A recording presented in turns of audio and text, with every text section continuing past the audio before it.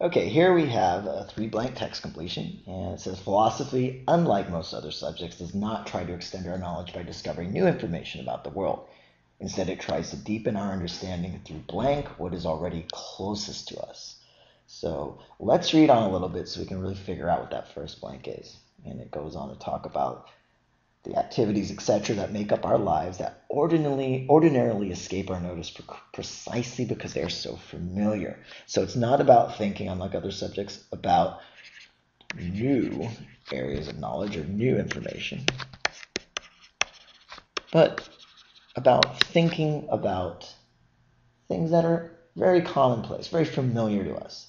And so it tries to deepen our understanding through, and I'm going to come up with my own word here, thinking about what is already closest to us. And it goes on to say that stuff that ordinarily escapes our notice. So we usually don't think about them because they're so familiar. But philosophy is different. It wants to think about these things that are so commonplace. So philosophy, therefore, begins by finding. Now I'm reading at the very bottom, second blank here. Philosophy begins by finding blank the things that are blank. Well, it finds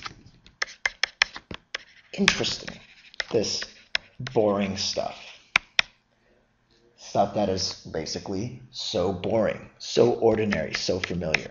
And so we're going to are familiar for our third word. So just like that, we filled in the text completion using our own words for all three blanks. And now let's match up. First blank, we have rumination on, which means to think about something. So that is going to be answer choice B. For the second blank, something that's interesting. Well, D is essentially relevant. That's not interesting. F, thoroughly commonplace, is not interesting, but utterly mysterious is close enough to the idea that something is interesting or unique or different. So utterly mysterious works. And then the third blank, we want something that's familiar. We have here somewhat hackneyed. If something's hackneyed, it's a creative product that lacks any originality. It's just copied from something else. It's trite. It's same thing over and over again. And that's not quite what we're going for here. There's this negative connotation to hackneyed. But we want something that just means dull and ordinary, something you see day to day. And that word is prosaic, which is answer choice G.